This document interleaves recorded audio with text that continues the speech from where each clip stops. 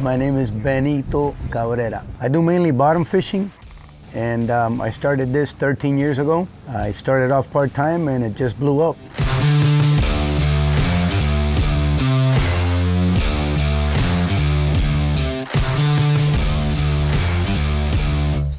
Trying to get some yellowtail, some mangroves on the bottom. At the same time, ballyhoo are getting closer to the boat. We're gonna fill the live wells with ballyhoo, and then we're gonna go to deep water for the mutton bite and the grouper.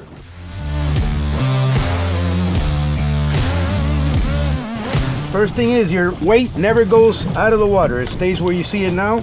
Your swivel out of the water, your weight in the water. So you don't hit the boat, you don't hit anybody. What you wanna do is you want to go to the bottom, you hit the bottom, come up, and take two turns, okay?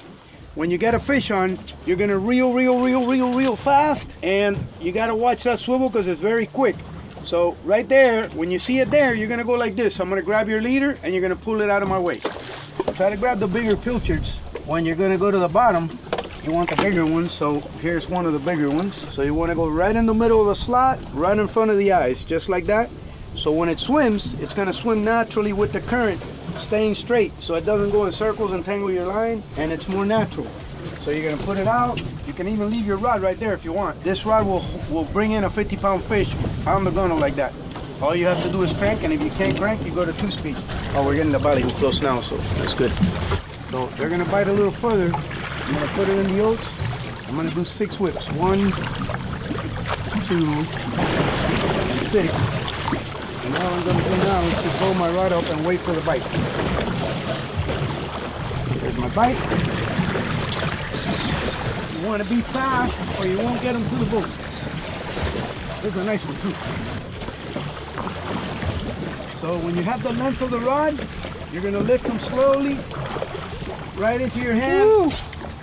Put the rod on the holder over here. Now I have enough line to handle my fish without having to open the reel. Check this one out. Video this one. Stick the stick right down his throat. Grab the line and the stick. Not inside the bucket, on top of the bucket. Go in circles. It's right off the hook every time.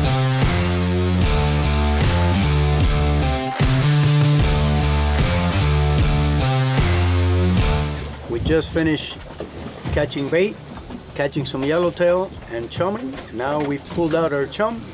We're gonna go into 140, 150 feet, anchor up, and put down some live ballyhoo and try to catch some muttons and grouper.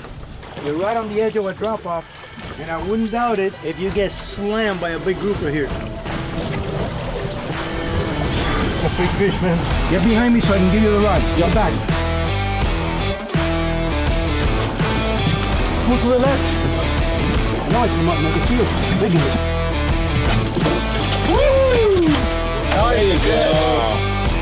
Decadus got more sturdy, yeah. more sturdy, and I can see when I wash it, it just comes right off. Right Everything comes right off of it. As far as the uh, grip on your feet, it's a lot better, and it's comfortable, and it doesn't slip. You can leave your cooler over here, over there. It's not going to go anywhere you know, fiberglass, you need to put something under it and all that. With this, you don't need to. It doesn't move. You have a flat line out. We're gonna put another flat line out with a pilchard on a regular line without wire. That one has wire, so we have a chance at the tuna. If you can put that net down, we'll put the other rod right in there. We're gonna hit that groupa. Already there. Come to me.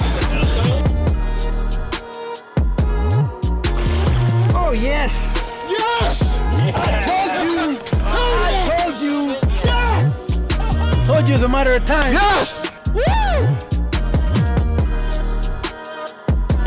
Oh my god, that's a big one, man.